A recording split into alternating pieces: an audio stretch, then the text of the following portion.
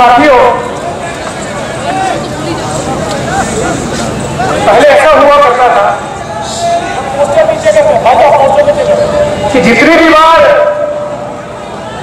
मोदी जी गुजरात में आते हैं अहमदाबाद के एयरपोर्ट पर लैंड करके हमको डिटेन कर दिया जाता था। अब हम दिल्ली आ रहे हैं, तब भी हमें डिटेन करने का प्रोग्राम बना रहा है।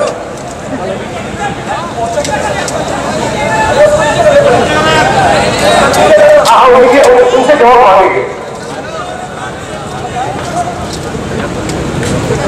पहले तो मैं ये बात स्पष्ट कर दूँ कि बड़ी संस्कृत शोषित में बात रहूँगा ज़्यादातर मुद्दों के ऊपर सारे साथी बोल चुके हैं मैं केवल दो तीन मुद्दे ही यहाँ पर आपके बीच में रखना चाहूँगा।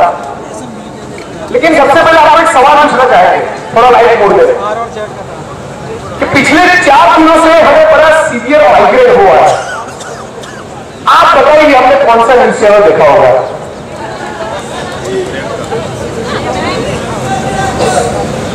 मुझे लग रहा है कि आप शायद ऐसा भी सुनने को मिले। Ladies and gentleman nation wants to know right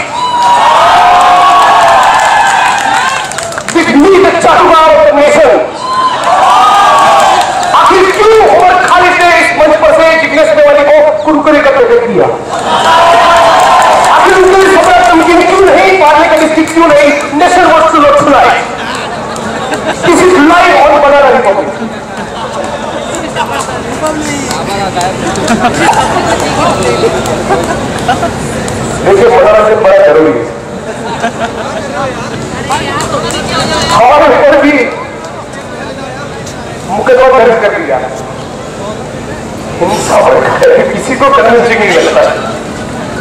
हम जब चुनाव लड़े और जिस सिंबल से चुनाव जीते वही सिलाई मशीन। और पूरे कैंपेन के दौरान हम ये कहते थे कि बाईस साल के दौरान गुजरात के अंदर तोड़ने की राजनीति हुई। हम तो सिलाई मशीन वाले हैं। धागे से धागा गिरोकर हम जोड़ने की राजनीति करने के लिए आए हैं। तो साथी कन्हैया, शैला और दूसरे सभी साथियों का बिल्कुल सही कह रहा है।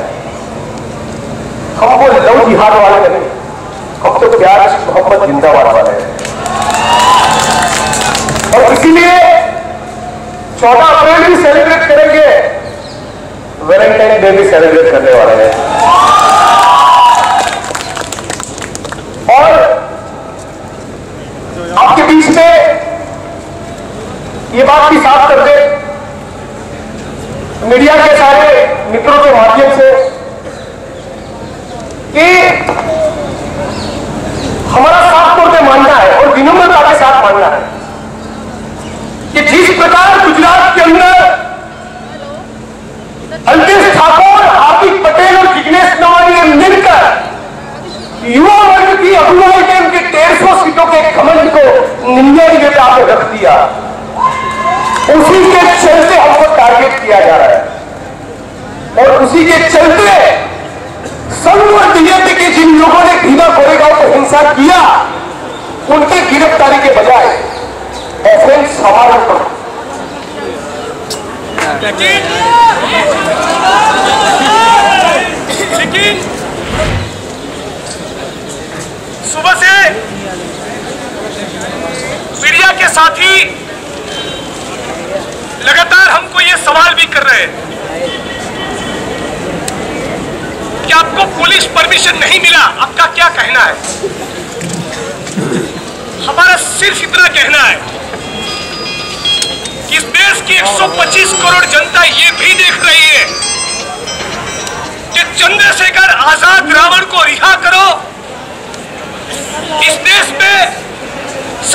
लोकतंत्र और संविधान को लागू करो और दो करोड़ युवा को रोज़गार दो।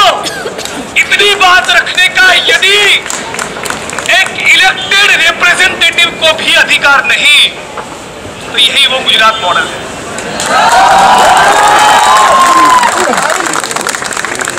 अरे मोदी जी, हम आप ही के गुजरात के हैं। और विधायक भी है अब तो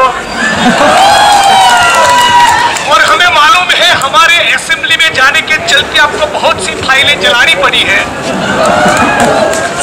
और सारे वो ब्यूरोक्रेट जो इतने सालों तक बोल नहीं पा रहे थे, वो सारी करप्शन की फाइलें हमारे पास आने वाली है, हमको मालूम है। लेकिन आप ये बात भी समझिए भीमा कोरेगांव में जो हिंसा हुई उसमें कोई जिग्नेश मेवाणी को नहीं। आपको जवाब देना है। आपको ये जवाब देना है कि आखिर अखिल गोगोई के ऊपर मुकदमा क्यों दर्ज हुआ? आखिर 700 से 800 स्टूडेंट्स और यूथ लीडर्स के ऊपर पिछले चार सालों के दौरान ऑफेंस क्यों दर्ज हुए? आपको ये जवाब देना है कि भीम आर्मी के साथियों को टारगेट क्यों किया जा रहा है? आपको जवाब देना है कि चंद्रशेखर रावण रासुका के चलते जेल में क्यों बंद है? आपको जवाब देना है पूना के विक्टिम्स को न्याय क्यों नहीं मिला? आपको जवाब देना है आज भी पूना सहारनपुर और भीमा कोरेगांव क्यों हो रहा है? ये आपको जवाब देना है कि विदेशी बैंकों में पड़ा पंद्रह लाख इस देश के गरीब आदमी की जेब में क्यों नहीं आया? आपने हर साल दो करोड़ युवा को रोज़गार का जो प्रॉमिस दिया था, उस प्रॉमिस का क्या हुआ? आपको जवाब देना है कि मध्य प्रदेश के किसानों की छाती पर आखिर गोलियाँ क्यों दागी गई? ये सवाल पूछने के लिए सोशल जस्टिस के एजेंडा के साथ सारे युवा लीडर आज आपको ये जवाब देना है कि आखिर रोहित वेमुला की हत्या क्यों हुई और नजीब को गायब क्यों किया गया? ये सारे सवाल हम विधायक के तौर पे गुजरात की असेंबली में भी पूछेंगे और सड़कों में पीपल्स के मूवमेंट के दौरान आपके बीच में खड़े रहकर भी साथियों हम ज़्यादा लंबा बात नहीं करेंगे। हेलो। ज़्यादातर तो साथियों ज़्यादा बात करते हुए इस बात को लेकर सभी के बीच में कोई दोहराए नहीं।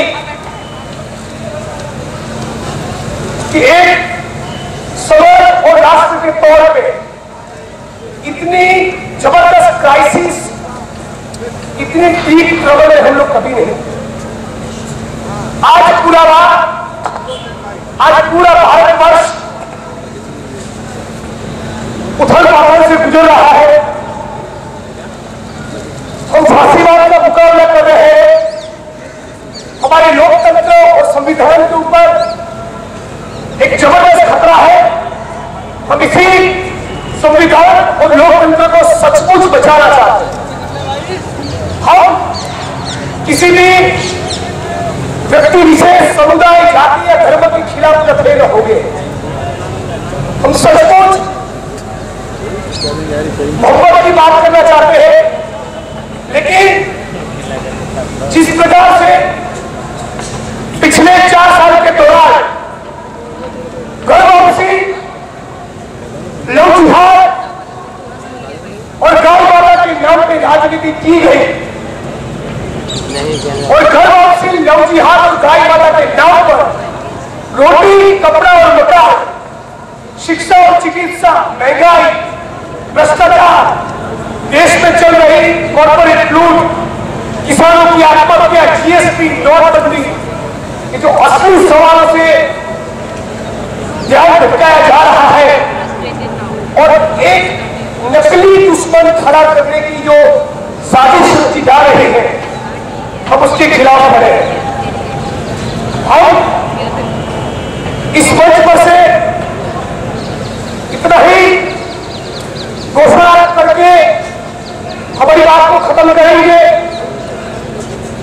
क्या लव जिहाद घर वापसी ये गाय के नाम पर जितना भी चिल्लाना हो जितनी भी राजनीति करनी हो, वो कर लो। लेकिन हम बात करेंगे, इस देश में अदानी अंबानी एहसान को नहीं, लेकिन दलित आदिवासी और भूमिहीन को ज़मीन का आवंटन हम ये बात करना चाहते हैं कि माननीय प्रधानमंत्री जी, इंडिया सचमुच डिजिटल बनना ही चाहिए।